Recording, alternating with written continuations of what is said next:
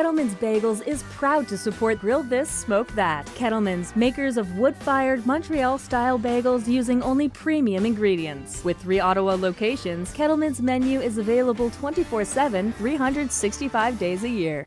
Grill This, Smoke That is generously supported by Oven Brothers, makers of handcrafted Canadian made wood burning outdoor ovens for inspired chefs. Visit us at ovenbrothers.ca. Oven Brothers, from our family's backyard to yours. Grill This, Smoke That is brought to you by Furtado Farms. For all your outdoor cooking needs, they're your premium source for cookwood. Whether it's pellets, chips, chunks, or logs, they've got you covered. Visit furtadofarms.ca for more info. Hi, I'm Steph Legari, also known as Steph the Grilling Gourmet. On today's episode of Grill This Smoke That, we're going to be featuring the dishes from Quebec with my very good friend and owner of Kettleman Bagels, Mr. Craig Buckley.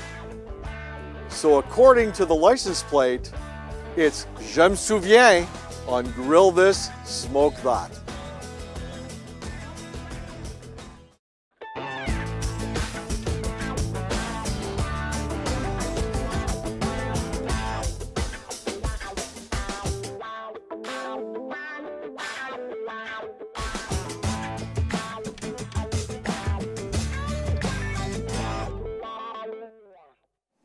Today on Grill This Smoke That, I'm very happy to have my good friend Craig Buckley, owner of Kettleman Bagels, with me, and we're going to talk about the foods of Quebec, Yeah. especially Montreal. Yeah. Montreal screams smoked meat. What what is your association with Montreal? Well, that's a big question. Uh, association with Montreal. First of all, smoked meat. Right. I don't even remember having it for the first time. Wow. Uh, I was given to a, uh, I was given a sandwich probably when I was a baby, and and you just grew up with it. It's something that you know was ingrained with you. Everybody had their favorite restaurants to go to, you know, delis and whatnot. But uh, it's part of the the multiculturalism of Montreal. You know, you, you have the Jewish influence and the French and the Italian and and Greeks and everything else, and it all turns into something really special in Montreal. Right, and of course you can't go to Montreal without having a really good smoked meat sandwich, and I'm sure you've had a pile of them over your lifetime. Just a wee bit. Just a wee bit. Um, we're going to start off with a whole packer brisket.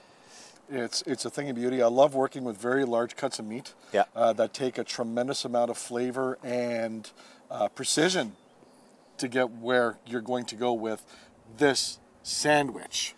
You know, it, it, it's it's it's it's a task. First of all, what we have to do is we have to take our brisket, and we're using a whole packer brisket, which means that there's uh, a flat, which is this point, Yep. or, or this part, and we've got uh, the the point, which is very very fatty. So when you're asking for a sandwich, So, in Montreal, you go. always ask for a medium sandwich if you're from Montreal. If That's you're right. if you're if you're a tourist, somebody not from Montreal, you always ask for the lean, Lean, part. yeah. But No. if you're a real Montrealer and, is where it's and, and you're not worried about your diet too much, you ask for the fatty part. absolutely. That's got the flavor. As a matter of fact, there was a restaurant in, uh, in Montreal. They would slice off, you know, the big chunks of fat, Yeah. and they would put paprika on it, Nice. and they'd sell it. Wow. The lardo of Montreal. Wow. so so we're, we're actually going there's there's a few different ways that you can do smoked meat. There's a brining method, there's a curing method. Yep. Um, and there's a lot of phosphates and nastiness that go in sometimes in smoked meats as preservatives or Yep. special tricks to actually make the pinkness of the meat go that bright, vibrant red. Exactly. And a real true smoked meat won't necessarily have that bright red, smoky uh, undertone. Like I mean, but this this this rub that we're using is a formulation of um, sugar, salt, black pepper, ground cloves, and bay leaf. And essentially, what you're doing is you're crushing all of that to formulate a lovely mixture like this. And uh, it's it's something that you just want to sprinkle on top of the meat and essentially put it in. But this is where the magic happens. It takes 10 days. 10 days for this to actually cure with the um, with the dry rub that's put on it. So this has been sitting for 10 days in the fridge and the only thing left to do is actually put it in the smoke. So we're going to take it from this big beautiful plate. We're going to put it in the platter and uh, the only thing left is actually we're going to go to the grill.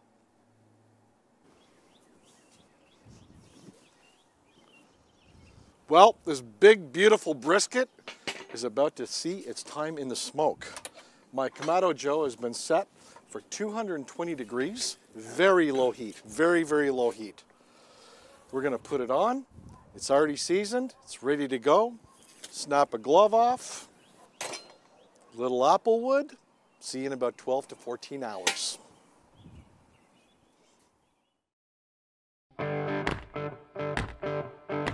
On today's tool segment, I want to talk about the grilling basket. It's large, in charge, and you can put a ton of stuff in there. Things that tend to run away on the grill like mushrooms, whole mushrooms are round, they run around. If you put them all in here, you can toss them in the basket because it's got nice tall sides that are actually angled. So you can actually even pick it up and give it a little saute toss. That's what the little handles are for, I guess. They're perforated so that the heat goes through draining all of that liquid out of the bottom. So there's great conductivity of heat and it is easily washable. You can throw this thing right in the dishwasher after you give it a light scrubbing because there is going to be some, you know, charred on bits. I love it. Grilling baskets, great tool for the barbecue.